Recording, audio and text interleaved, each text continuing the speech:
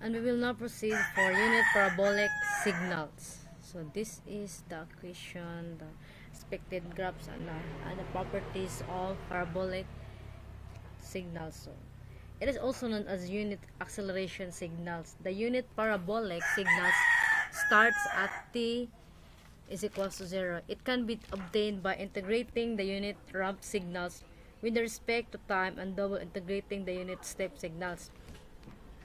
So the parabolic signals in continuous time is a unit parabolic signal which is defined for every instant of positive time. It is denoted by parabolic of t. It is given as if t raised to 2 over 2 for t is greater than or equal to 0 and when o for t is less than to 0. And for the discrete time parabolic signals. Sequence is a unit parabolic signal which is defined only at discrete instants of positive time n. It is denoted by parabolic n is given as if n raised to 2 over 2 for n is greater than equal or equal to 0 and when 0 for n is less than 0. So,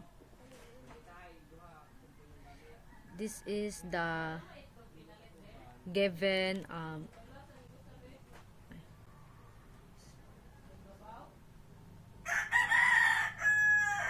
this is the given um, condition for parabolic. So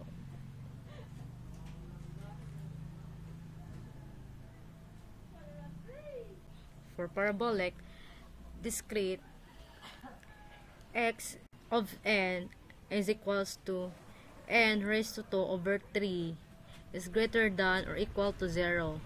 And when 0, n is less than to 0. Where n is less than or equal to 7, the same the same function of continuous. So, so let's now proceed to the code.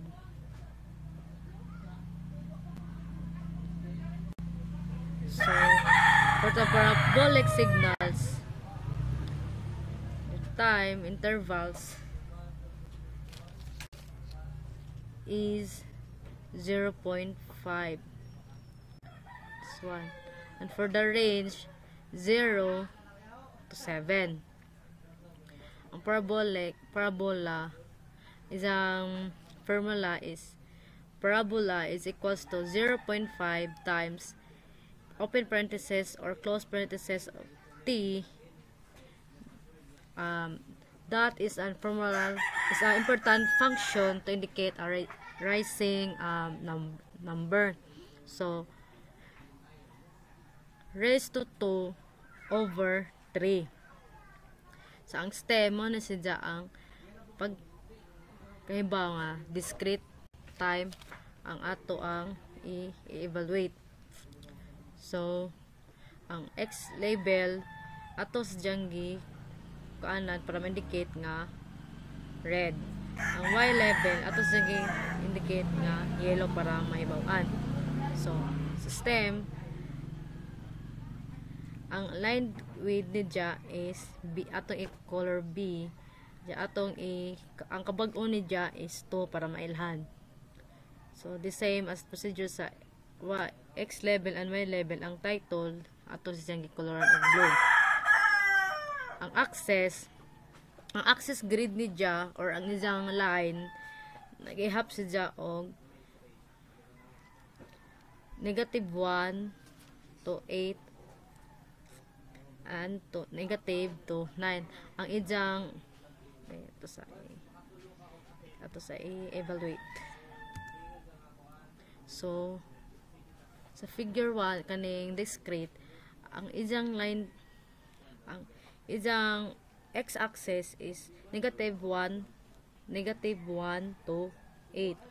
And ang isang y-axis or amplitude is negative 1 to 9. Manadya ang atong axis nga gamiton or line. So, ka-grade O na. So, so sa continuous ta, ito evaluate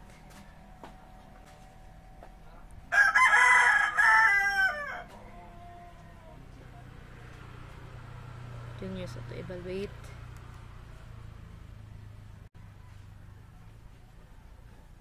Okay.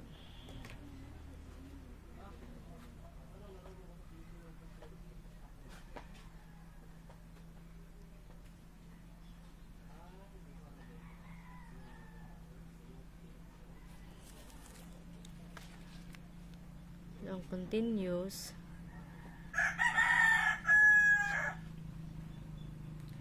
Maupot ni ito iba nito true ang discrete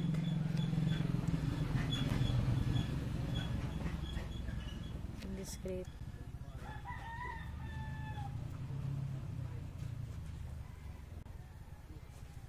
so discrete and this is for the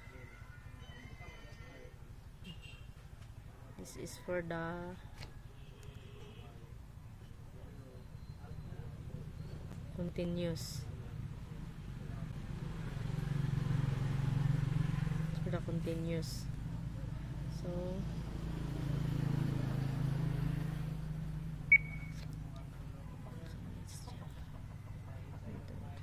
the B conditions.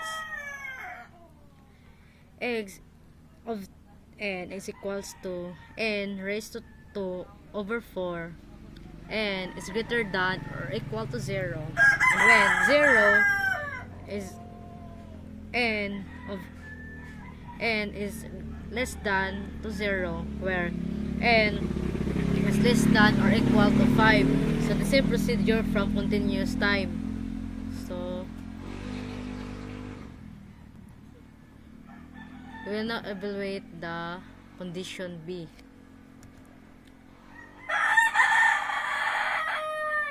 Muna sadya ang ijang graph result sa discrete.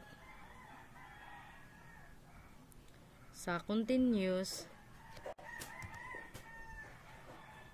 muna ang ijang graph result. So, continue ta sa C. Muna ang condition, given condition sa parabolic sa C. So, x of n is equals to n raised to 5 of raised to 2 over 5 n is equal is greater than or equal to 0 and when n and when o n is less than to 0 where n is less than or equal to 4 the same function sa continuous. So ito sa code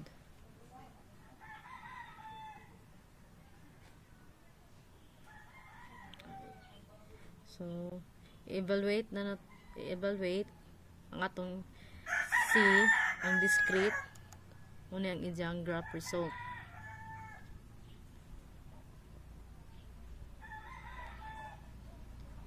And then, sa continuous, ang ijang graph result. Ang nag, ng iyang Injang range is 0 to 4. Ang injang interval is 0.5. Injang na ang injang axis, ang injang amplitude axis is nasa 1.6 ang injang y axis or injang time is nasa 4. That's all for the parabolic signals.